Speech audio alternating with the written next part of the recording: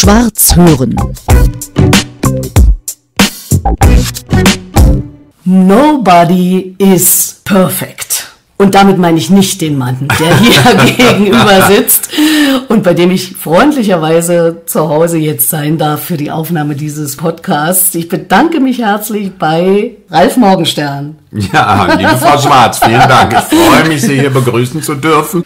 Nobody is perfect. Ja. Das ist der letzte Satz eines Stücks, das Sie über Wochen mit vielen anderen tollen Schauspielerinnen und Schauspielern am Schlossparktheater gespielt haben, hier in Berlin und was demnächst dann in Stuttgart über die Bühne gehen wird. Genau, Und dem 9. Dezember. Genau. Nobody is perfect, dieser Satz ist ja sehr bekannt. Ja. Woher kennt man den? Natürlich aus Manche mögen's heiß. Manche mögen es heiß. Es ist der berühmteste Schlusssatz aller Zeiten. Ich kannte den natürlich auch, aber auf Deutsch heißt das ja, und eigentlich finde ich die deutsche Fassung ja viel poetischer, weil es nämlich heißt, niemand ist vollkommen. Eigentlich ist das viel schöner. Aber Nobody's Perfect ist natürlich viel berühmter geworden. Das ist bei den Dreharbeiten entstanden. Normalerweise ist der Schlusssatz, ich bin ein Mann. Und bei den Proben mussten die das ein paar Mal machen. Und dann hat äh, Joey Brown, ein berühmter Komiker, der hat dann nochmal irgendwann gesagt bei den Dreharbeiten, ja, nobody's perfect. well, nobody's perfect. Hat er einfach hinten dran gehangen. Und dann haben die gesagt, boah, das ist super, das lassen wir. Man kennt den Ausspruch ja, aber erst 1959, als der Film rauskam, wurde dieser Satz in den Sprachgebrauch übernommen, aller Sprachen. In, in Amerika, in Europa, über Nobody's Perfect kennt man ja auch diese Smiley-Sachen oder so mit so Fratzen, Genau. Bilder, Nobody's Perfect drunter. Das ist wirklich durch Manche mögen's heiß, Some Like It Hot, den Billy Wilder Film. Ja. Dadurch ist das entstanden. Und Sie spielen die Rolle des Herrn, Oswald der da Fielding, der genau, Dritte. der die junge Frau verführt und meint, er schafft das auch. Und irgendwie schafft das ja auch. Und die junge Frau entpuppt sich als junger Mann. so ist es. Und ihm ist es egal. Ist das nicht schön? Ja, In der wunderbar. heutigen Zeit, der Film ist von 1959. Also gerade 50er, 60er Jahre, sehr puritanisch, sehr sittenstreng, sehr moralinsauer. Oh ja. Und dass man da heute drüber nachdenkt, man sollte sich doch in Menschen verlieben und nicht in ein vermeintliches Geschlecht. Und vor allen Dingen nicht, um sich selber nur fortzupflanzen. Aber da wir ja immer noch weltweit, es gibt so ein paar Ausnahmen, in einem Patriarchat leben, ist das so. Alte, weiße, alte, schwarze Männer genauso möchten gerne sich selber fortpflanzen und möchten gerne, dass wir alle genauso denken. Da Ja. müssen wir wieder für kämpfen oder wir dachten, ich dachte ja auch mal, das wäre alles schon viel weiter. Ist es aber nicht. Und das Musical Sugar heißt es. Sugar ist die weibliche Hauptrolle im Film, dargestellt von Marilyn Monroe. Es ist die Titelrolle, aber eigentlich gar nicht die Hauptrolle. Aber sie hat es wirklich geschafft, das zu einem Monroe-Film zu machen. Die beiden Hauptrollen sind natürlich Tony Curtis und Jake Lemmon. Und die Monroe wollte es erst auch gar nicht spielen. Und äh, weil sie auch diese Rolle sagte, boah, spiele ich schon wieder eine doofe Blondine, will ich eigentlich nicht mehr machen. Und dann hat Billy Wilder sie aber überredet und dann hat sie es wirklich zu einem Monroe-Film gemacht. Für Jack Lemmon war es der erste Film als Komiker. Der hat als Schauspieler schon einen Oscar gehabt und war aber ein normaler Schauspieler in Anführungsstrichen normal und hat seine erste Komödie gedreht und das war der Beginn einer großen Karriere als Komiker für Ja. Jack Lemmon. Und mich hat die Rolle total gereizt. Und Dieter Hallervorden rief mich an und sagte, Herr Morgenstern, also wir machen jetzt hier im Schlossparktheater ein Musical, das heißt Sugar, manche mögen's heiß. Und da sage ich, im Schlossparktheater? Haben Sie, haben Sie denn da Platz? Und alles, nein, sagt er, wir machen eine kleine Version davon, aber würden Sie bitte den Osgood Fielding den dritten spielen? Da habe ich gesagt, den spiele ich Ihnen egal, wo Sie wollen. Und wenn Sie meinen, Sie können das im Schlosspark alles machen, dann bitte. Und er wollte heimlich die Rolle eigentlich äh, selber spielen. Hatte dann aber keine Zeit, hat dann dieses Theater beziehungsweise die Kirche in Dessau in Genau. seiner Geburtsstadt Ja. und dann musste das jetzt gehen und dann hat er auch keine Zeit und Da war ich sehr glücklich drüber. Und also ich finde, die Rolle ist Ihnen auf den Leib geschrieben. Ne? Ne? Finde ich auch. Also es ist eigentlich so rum, genau genommen ist es nicht So. andersrum. Vielen Dank. Nein, das ist wirklich schön. Das ist eine tolle Besetzung. Der äh, Klaus Seifert hat da eine wirklich schöne Inszenierung gemacht und so ein Kammermusical ist es eigentlich. Das ist schön geworden. Ganz toll geworden. Ja. Ich habe mich sehr amüsiert äh, in der Premiere und kann nur raten, da wirklich reinzugehen, egal wo es jetzt gerade dann noch wieder gespielt wird. Herr Morgenstein, Sie haben gerade so schön gesagt, man liebt doch oder mag doch Menschen und nicht irgendein Geschlecht. Ja. Sie kommen ja aus Nordrhein-Westfalen Mhm. und sind aber mit 20 nach Köln und jetzt schon seit mehr als zehn Jahren in Berlin. Ja. Das heißt, Sie leben ja in Städten oder haben in Städten gelebt, wo das ja auch zum Glück sehr offen ist, ne? dass man Menschen lieben kann und nicht ein Ja. bestimmtes Geschlecht lieben muss. Wenn man ein Mann ist, muss man nicht eine Frau lieben und umgekehrt, oder? Ja. Also Das insofern. muss man so und so nicht, egal in welcher Stadt, aber, Aber hier es ist es ist offener natürlich in, oder? in Köln und in Berlin offener, ja, Ja, das stimmt. Die genau. Leute sind offener, die Leute sind hier sehr liberal Ja. und äh, ich kenne Berlin auch schon in allen Aggregatzuständen, wie ich immer sage, weil ich bin seit Ende der 70er Jahre schon hier. Ich habe früher Musik gemacht, Ja. also gesungen. Also immer mal wieder Immer. hier gewesen, sozusagen. Und ich habe hier viel gearbeitet und Mhm. in Köln gelebt, weil in Köln war so mein Lebensmittelpunkt durch Familie und Freunde und so. Ah, und ja. bin dann vor zehn Jahren fest nach Berlin gezogen. Und obwohl Sie ganz offen schwul leben, das kann man ja so sagen, ne? Ja. haben Sie eine Tochter. Geht ja auch, sowas, Natürlich. ne? Und mit der Äh, haben Sie ja auch zusammen was gemacht, nämlich ein Café, habe ich gelesen. Genau, in wir haben einen Köln. Café, wir machen zusammen Urlaub, wir haben zusammen gelebt. Hm, Wo ist sie jetzt? Die Immer noch in Köln? Ja, die ist Ja. in Köln geboren, die einzige Kölnerin in unserer Familie, also die in Köln geboren ist. Die möchte da auch bleiben. Ja. Also ihre Mutter lebt auch in Köln. Also Sie haben einen wirklich, wenn ich das mal so sagen darf, also wenn man nur die paar Zeilen bei Wikipedia oder bei solchen Übersichten äh, Na, Wikipedia, ja, das ist sehr witzig, das haben hab einen ich aber nicht Das weiß geschrieben, ich, was das weiß ich. Aber So, ich sag mal so, aber- weitestgehend stimmt es, oder? Und zwar haben wir irgendwann mal vor zehn Jahren, oder ne, ist schon länger her, vor 15 Jahren oder so, sind wir bei Wikipedia mal hingegangen und haben uns da eintragen lassen. Da muss man, kann man sich ja akkreditieren. Und das haben wir gemacht mit meiner Agentur, damit die Daten wenigstens stimmen. Weil mittlerweile ist es so, dass viele Produktionsfirmen Infos bei Wikipedia rausholen, weil es halt doch eine sehr umfangreiche Enzyklopädie mittlerweile ist. Absolut. Also wir als Journalisten machen das auch. Also das So. ist schon ganz klar. Und da muss das sollten wenigstens, das sollte Ja, stimmen. ja. Mhm. Früher war es ja so, da konnte jeder reinschreiben, was er wollte. Dadurch ist auch der Roman von Ralf Monstein, aber es war ein Berliner Autor, der das geschrieben hat, immerhin. was ich sagen wollte, ein schillerndes Leben. Also wirklich, äh, was Sie alles gemacht haben. Also Sie haben selber schon erwähnt, Musik gemacht. Dann Ja, mache ich ja immer noch. Machen Sie immer noch und Sie kommen ja auch aus einer sehr musikalischen Familie. Ja, Sowohl Eltern als auch alle möglichen anderen Verwandten haben Ja. alle was mit Musiktheater und solchen Dingen zu tun. Sie spielen Theater, sie spielen im Film oder haben öfter in Filmen gespielt und ich kenne sie aus dem Fernsehen natürlich. Ja.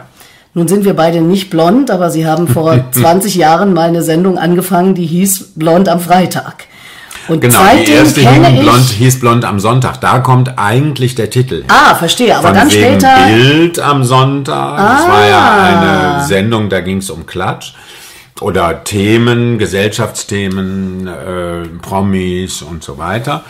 Und das hieß Blond am Sonntag. Und die Sendung war auch am Sonntagabend. Das ZDF wollte nur irgendwie nach zwei, drei Jahren auf den Freitag. Dann hieß es- Und da hieß es Blond am Freitag. Der Titel macht gar keinen Sinn. Außer, dass man weiß, wann die Sendung kommt. Na, immerhin. Es ist bei der Ja. Fülle der Sendung und der Sender heutzutage ja gar nicht schlecht. Also ich sehe sie da immer noch sitzen mit den Promis. Ja, ich, habe das auch sie aus 17 der Jahre, also die beiden Sendungen, Kaffeeklatsch und Blonde am Freitag, Blonde am Sonntag, habe ich 17 Jahre gemacht. 17 Jahre wöchentlich, beziehungsweise ist gar nicht wahr, 15 Jahre wöchentlich, dann habe ich noch zwei, drei Jahre Fernsehgarten, immer die Klatschecke bei Andrea Kiewel gemacht.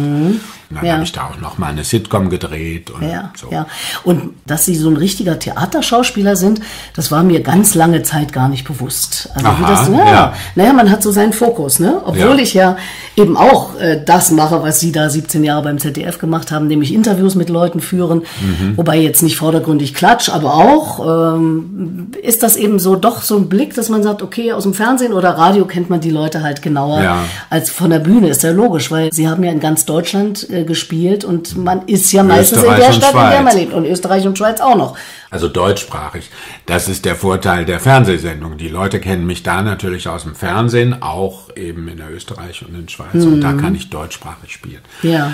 Das wollte ich sagen, dass die meisten natürlich, die hier äh, ins Theater gehen in Deutschland, auch in Österreich, sind natürlich sind ältere Leute, das muss man schon sagen. Salzburg macht da vielleicht noch mal eine Ausnahme, die Festspiele oder überhaupt Festspiele machen eine Ausnahme. Da fahren doch auch viel junge Leute hin, aber so jeden Abend ins Theater sind schon die älteren Leute. Die fehlen uns auch jetzt. Durch Corona ist da äh, äh, ist da viel in die Brüche gegangen. Äh, die Leute haben Angst. Äh, jetzt eben auch wieder, wenn die Zahlen, sobald die Zahlen hochgehen, kommen auch weniger ins Theater. Leider. Also das muss sich wieder ändern, oder? Das ist doch wirklich. Ja, ich hoffe, Also das wird sich auch wieder ändern. ja. Also wir sind ja äh, zumindest also im Schlosspark, die Wochenenden sind wir ausverkauft. Aber in der Woche, gerade Anfang der Woche, haben wir auch Schwierigkeiten, die Vorstellungen Hm. ausverkau- auszuverkaufen. Aber es ist gut, es ist gut gefüllt, Nun die Leute sind gut drauf. Ja, und Berlin hat natürlich so riesiges Angebot. Das ist ja auch der Wahnsinn. Gut, das hat Stuttgart auch, das muss man auch sagen. nicht- Stuttgart nicht hat auch ein riesiges Berlin. Angebot. Naja, Stuttgart ist halt ein bisschen kleiner. Aber für die Größe hat Stuttgart ziemlich viel Theater und Okay. Mhm. ziemlich viel Kulturangebot. Die haben alleine zwei Musical-Theater. Das haben wir in Berlin nicht. Ich war gerade die Tage im Theater des Westens in Kudam 56. So, da war's. Schon das gesehen? Ist ja auch, ja klar, bei der Premiere. Ist das ein Traum? Ja, das ist sehr, sehr schön. Also ich auch. so modern, äh, Ja. diese 50er Jahre, in denen Ja. wir ja beide geboren Ja. sind. Wir sind ja. Ja. fast gleich alt. Ja, Darf ich es verraten? Steht ja auch in Wikipedia, es ist ihr Geburtsjahr. ja. Aber sie war noch nicht in der Tanzschule. 56 war ich noch nicht in der Tanzschule, nicht. aber ich war natürlich in der Tanzschule in Mülheim an der Ruhr, da bin ich geboren, Tanzschule Pentermann. Liebe Grüße, wenn es die noch gibt, ich glaube nicht. Klar, damals ging man in die Tanzschule, aber nicht nur um tanzen zu lernen, sondern da hatte man ja auch Benimmregeln. Also wie geht man miteinander um, wie esse ich und sowas alles. Das vermisse ich bei vielen jungen Leuten heute. Die können sich alle nicht mehr benehmen.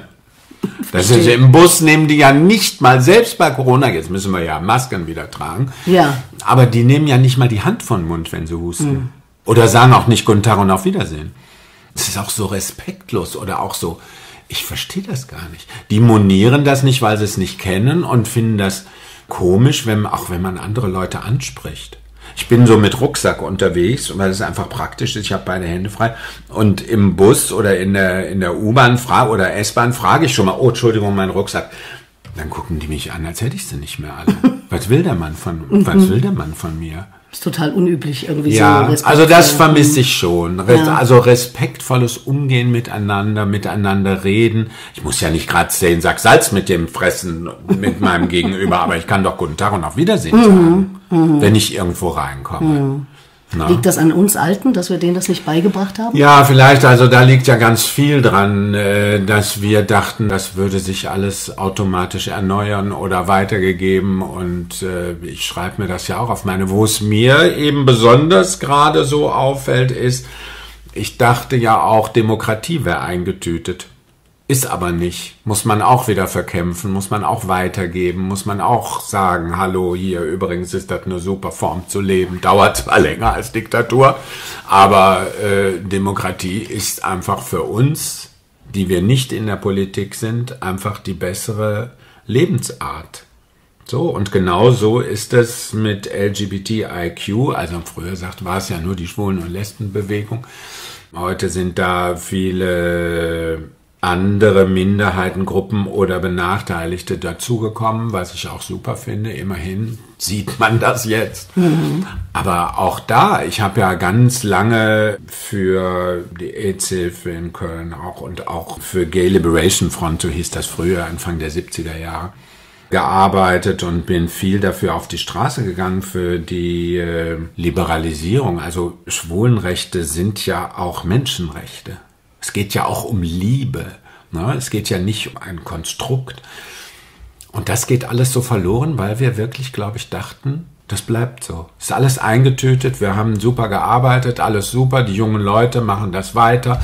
Nee, das ist leider nicht so. Das muss man erklären, muss man sagen, hör mal, pass mal auf. Und die letzte Diktatur hier in Deutschland ist gerade mal äh, 40 Jahre, 30 Jahre her. Meinen Sie mein Heimatland, die DDR? Ja, klar. Sie sind ja in der Diktatur groß geworden. Mm, Oder was war das? Nein, naja, es war offiziell die Diktatur des Proletariats. Das stimmt schon. Aber so schwarz-weiß sehe ich es nicht. Ich zum Beispiel habe ein Jugendradio in der DDR gemacht und äh, da ja. haben wir andere Dinge gemacht und durften sie auch machen. Also ganz so blöd war die Staats- äh, und Regierungsführung nicht, als dass sie nicht wusste, da müssen wir auch ein Oder Ventil damals einbauen. Nicht, oder? Damals Wurde nicht. das schlimmer? Wann? Frage ich Sie jetzt mal Wann im, zum Gegenende. Weil irgendwie kam Na, ja, das war Ende- ja eine Revolution, Na, die Sie Ende, gemacht haben. Ja, zum Ende war ja eher Perestroika äh, und Glasnost, sprich 85 Ja, ja. rüberkommend aus der damaligen Sowjetunion, Gorbatschow. Ja. Und da ging es ja eher um Öffnung der ganzen Geschichte. Und vielleicht trauten sich dadurch mehr Leute und es kam zu dieser Entwicklung, wie es kam. Das ist auch wunderbar, dass es so gekommen ist. Aber ich habe viele Jahre eine Sendung beim Sender Freies Berlin gemacht und dann später Mhm. ja. RBB, wo wir gerade diese Ost-West-Thematik immer Ja. wieder beleuchtet Ja. haben. Weil natürlich der Mensch aus dem Westen uns Ossis gern erzählt hat, wie unser Leben war. Und so eine Leute wie ich erzählen lieber gerne sein. selber darüber, wie mein Leben war, als dass ich mir das von niemand erzählen lasse, was ich Ihnen jetzt nicht vorwerfe, aber was ich äh, eben oft nach wie vor höre. Und das hat eben was damit zu tun, dass, ich sag mal jetzt ihr Wessis, so Ja. wenig über uns wirklich wusstet. Wir haben ja den Blick immer in Richtung Westen gerichtet. Ja, wir wussten ja Und- alles. Wir wussten alles über die Musik und so weiter. Ihr aber kanntet auch ja. heimlich. Nee, war aber- na, wir haben bei DT64 äh, Aber- 40 Prozent Westmusik gespielt. Das war nicht heimlich. Das haben wir jeden Tag gesendet, 24 Stunden. Und das war möglich. Das war möglich. Wir hatten eine sogenannte 60-40-Quote. Mach mal kleine Ja. Bildungsstunde jetzt an der Stelle. Sehr gerne. 60-40 Musik, ähm, 40 Prozent aus dem Westen. Mhm. Gesamtes, also Westdeutschland inklusive alle Länder des Westens. Und 60 Prozent aus dem Osten, also DDR-Musik. Wir Ja. hatten ja auch als erste Ja, die ja auch. deutschsprachigen Texte im Gegensatz zum Westen. Also Ihr hattet auch als erste Sugar, manche mögen's heiß, das Musical. Guck mal an. Im damaligen Metropol, und zwar 1989, das ist leider dann im Mauerfall untergegangen, Ja. die deutschsprachige Da Erstaufführung. können Sie mal sehen. Ja, also, ne? also was ich auch sagen wollte, wir hatten natürlich auch Musik aus dem sozialistischen Ausland. Das Ja. ist klar. Aber heimlich war das nicht. Also wir haben das gesendet. Natürlich haben Menschen heimlich Westfernsehen geguckt. Oh, das ist ein weites Feld, aber ich will ja Das ist ein weites Feld und ich kann auch dazu nochmal sagen, also ich bin, war viel in, in Ostberlin, nicht in Okay. der DDR, sondern in Ostberlin. Ostberlin gehörte zur DDR. Es war die Hauptstadt äh, der bin DDR. auch mal mit dem, ja Frau Schwarz, danke, jetzt die Klugscheißerei. Nicht in der DDR. Ich meine, Nein, Ostberlin ich war, war die ja DDR. klar, aber aus, ich kam ja aus Ostberlin nicht raus, konnte aus Ostberlin ja nicht in die DDR einreisen, oder? Weiß ich nicht, wenn ja, Sie einen Antrag aber. gestellt hätten. Ja klar, aber nicht von heute Nicht auf einfach morgen. so. Na gut, aber jemand, der dort geboren ist, aufgewachsen Mhm. ist, ähm, der sieht das möglicherweise anders. Und das bin ich. Was ich nicht verstehe, da ist natürlich das Leben, was sie da hatten, ohne diese politischen Repressionen, das ist mit Sicherheit schön gewesen. Aber das Ganze drumherum war schon sehr demütigend und sehr menschenverachtend. Ja, natürlich. Ich kenne auch äh, in meinen Zusammenhängen niemanden, der sich das so zurückwünscht. Aber sagen wir mal, der goldene Westen hat sich dann eben auch nach 89 für viele als sehr enttäuschend Ja, äh, klar, das, ja, sicher, verstehe ich ja für uns auch. Ja. Also so ist es ja nicht. Natürlich ist hier nicht alles Gold, was glänzt. Aber es ist, zumindest sind wir doch sehr frei und in unseren Äußerungen und wir können uns äußern, wir können uns frei äußern und frei leben und schon so, wie wir wollen. Aber so Restfreiheiten äh, müssen wir uns trotzdem auch Absolut. immer noch erkämpfen. Absolut, und ja. Das müssen Sie jetzt auch. Ja, so ist es. so, so aber ich muss auch sagen, wenn wir jetzt Europa sehen, eigentlich alle Staaten. Ich habe auch in Ungarn gearbeitet. Ich war in Ungarn am Operettenhaus in Budapest mhm. gearbeitet. Ich fühlte mich sehr an die DDR erinnert. Man kriegt nichts Privates aus den Kollegen raus. Man geht zwar abends trinken oder aus oder unterhält sich, man geht essen und so, aber es ist eine von Angst geprägte Stadt. Das merkt man. Und ich bin sehr sensibel. Ich, ich spüre das. Sie sind auch vage. Sie kennen das. Ja. Wir saugen ja unsere, unsere Umgebung sehr stark auf oder und spiegeln uns selber auch. Glauben Sie so, weil Sie gerade die Waage nochmal erwähnen, glauben Sie so an Sternzeichen und Charakteristika? Wenn man sich damit beschäftigt, dann findet man schon äh, Parallelen, das will ich mal sagen. Ja, vielleicht habe ich da so einen Sinn für.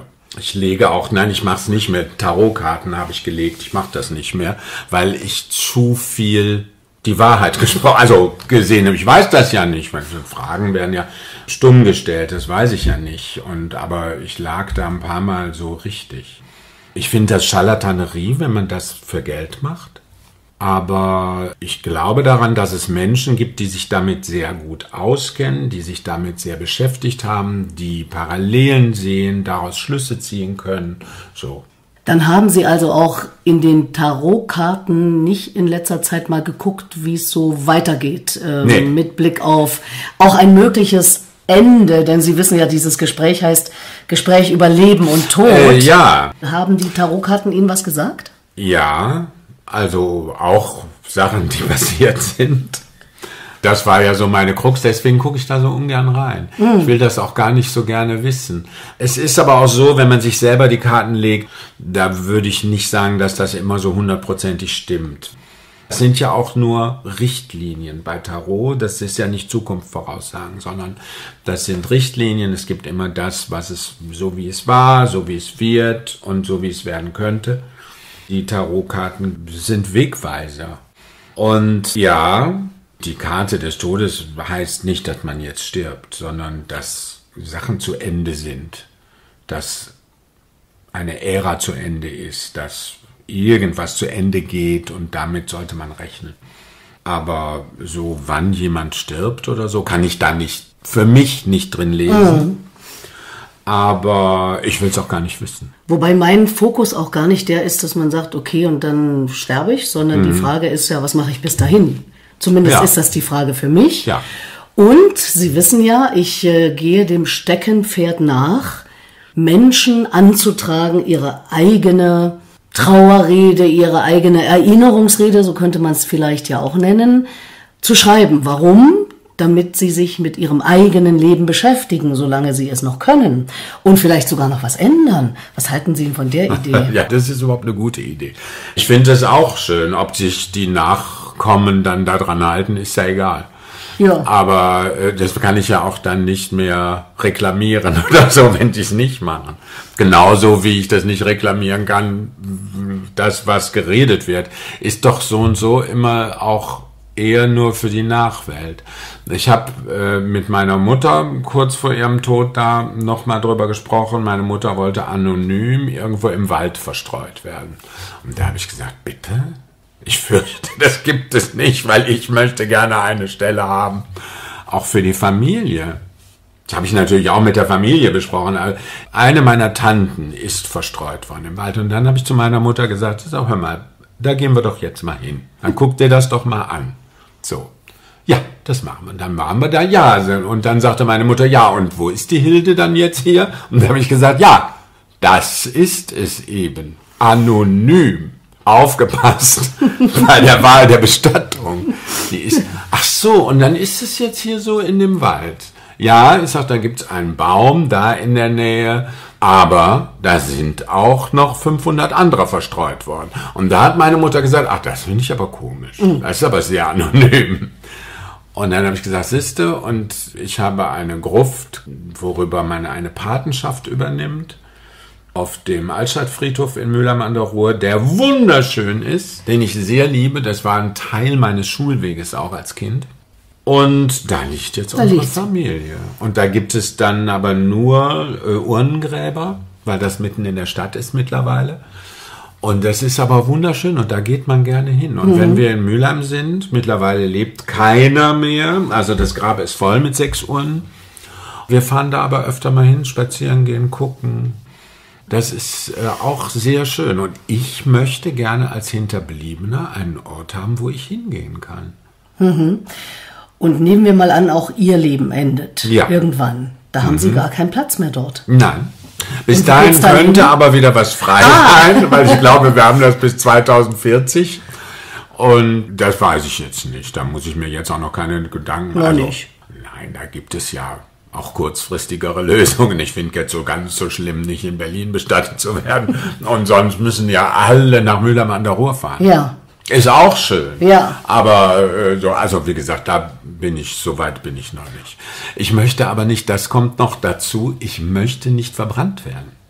Und Das da- geht dann also da gar nicht, dann weil es ja ein geht Urmann das da nicht. Und von daher warte ich mal so, vielleicht möchte ich ja irgendwann mal, komme ich da zu einem anderen Schluss. Aber Mm. ich möchte nicht gerne verbrannt werden. Finde die Vorstellung nicht schön. Ich möchte auch nicht im Wasser beerdigt werden, weil ich habe einige Freunde im, im, äh, als Seebestattung. Erstmal ist das sehr teuer.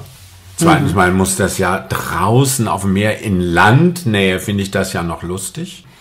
Aber doch nicht irgendwo draußen auf dem Meer. Denn die Vorstellung finde ich furchtbar. Also ich gehe ins Wasser. Sie gehen ins Wasser? Ich war mal Leistungsschwimmerin Ja. und Wasser Ah. ist mir sehr nah. Ja, Mhm. also ich bin gerne auf dem Wasser, aber ich bin nicht gerne im Wasser. Und ich gehe auch nur in gekachelte Gewässer schwimmen. Verstehe. das wird schwierig, irgendwo einen alten Pool zu finden, wo man einen Sarg reinschmeißen kann. Und was ist mit einer eigenen Rede?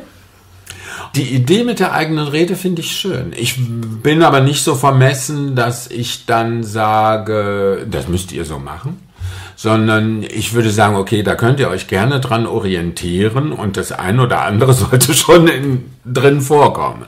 So, ich verlasse mich da aber auf meine Tochter, ehrlich gesagt. Habt ihr schon drüber gesprochen? Nee, haben wir noch nicht. Vielleicht ab jetzt? Ja, jetzt sprechen wir erstmal darüber und dann. So, ich habe ja die große Gnade erleben dürfen, bei meiner Oma dabei zu sein, als sie starb, bei meinem Vater dabei zu sein, also richtig zu verabschieden. Und das ist ja die halbe Trauerarbeit. Ich kann das nur empfehlen, weil das wirklich schön ist. Es ist wirklich schön, geliebte Menschen die Möglichkeit haben zu verabschieden. Und äh, bei Freunden, ich habe es viermal erlebt. Und das ist eine große Gnade. Und danach ist eigentlich alles egal. Schwarz hören.